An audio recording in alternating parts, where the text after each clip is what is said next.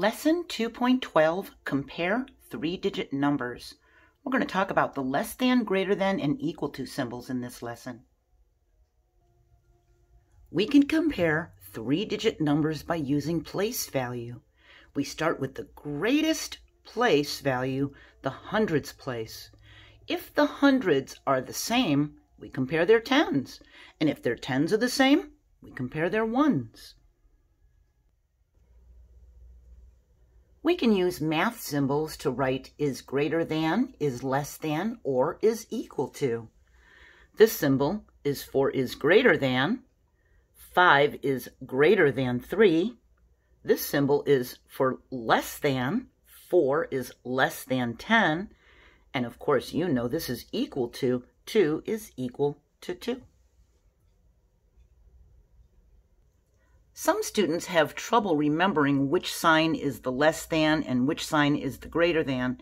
We're going to talk about several ways during this video, but one of them is, because this is the less than symbol, the less than symbol faces the same direction as an uppercase L.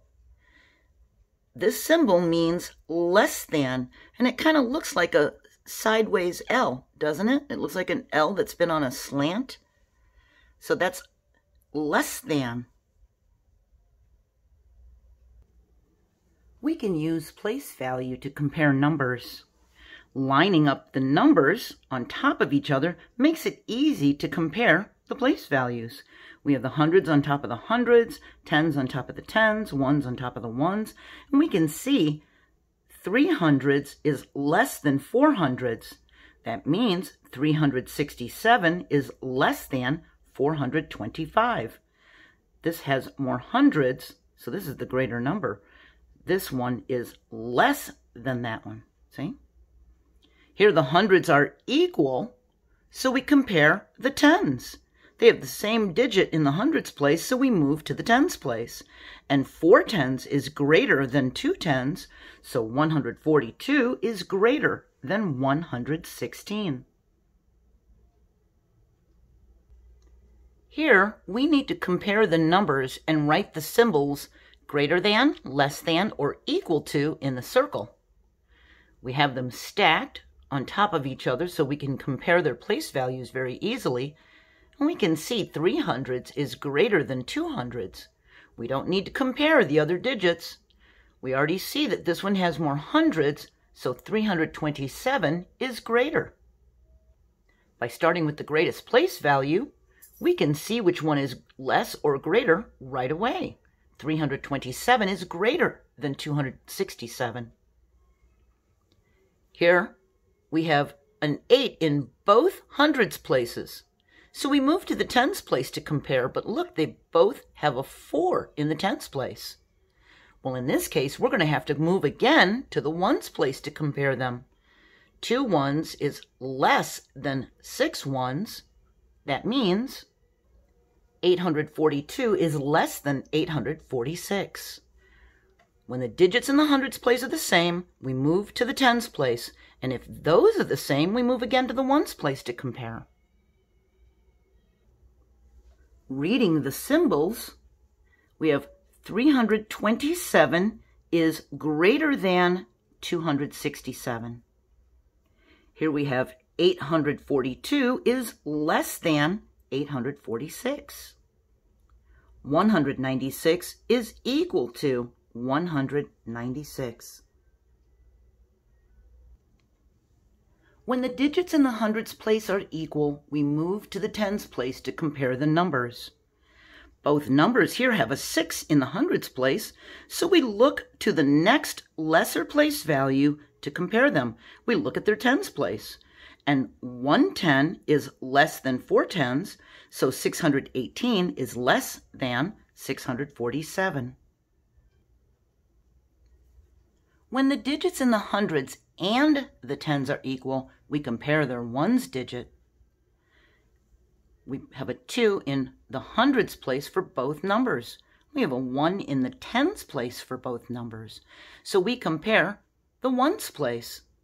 Nine ones is greater than seven ones, so 219 is greater than 217. So remember, the open side of the symbol faces the greater number, like 10 is greater than 4, so our symbol has the big open side by the bigger number.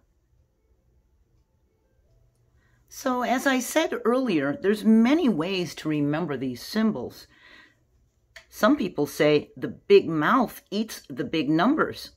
See how this symbol looks like a big mouth? 3 is less than 6. 6 is the greater number, so the big mouth is going to eat the big number. We can also look at this side of the symbol is a big opening, and here we have a small little point. So the big number goes by the big opening, and the small number goes by the small little point. So there's many ways to remember which direction to face the symbols. And remember, the less than symbol, which faces this way, kind of looks like a sideways or crooked L for less. These numbers are written in expanded form. We need to write the three-digit number, then compare. We have 200 plus 50 plus 3. We need to write that as a three-digit number. Here we have 200 plus 30 plus 5. We need to write that as a three-digit number. The two numbers we're comparing are 253 and 235 and they both have a 2 in their hundreds place, so we compare the tens place. Five tens are greater than three tens, so 253 is the greater number. We write our symbol with the big open side facing that greater number. We can read this comparison as 253 is greater than 235. Here, we need to write a three-digit number that makes the comparison true. So we think we can choose any number we want if it makes the comparison true. Any number. We have 612 is greater than. We can put any number here that 612 is greater than. 612 is greater than 611, isn't it? but it's also greater than 610, 609, 608. We have a lot of digits and numbers we could choose. For this one, some number blank is less than 178. We can choose any number we want as long as it's less than 178. We can choose 177, 176, and we can keep going all the way down to zero if we wanted. It'll make the comparison true. So remember to always begin by comparing the greatest place value first. And it doesn't matter how great the number is, we always begin with the greatest place value. If we wanted to compare thousands, here we have a 7,000, here we have a 9,000. We compare the thousands place. And 9,000 is greater so we know this is the greater number. Here we have 24,000 and 21,000. They both have a 2 in the 10,000s place, so we look in the 1,000s place. 4,000 is greater than 1,000, so this is the greater number. Doesn't matter how great the number is, it could even be millions. We always begin with the greatest place value first.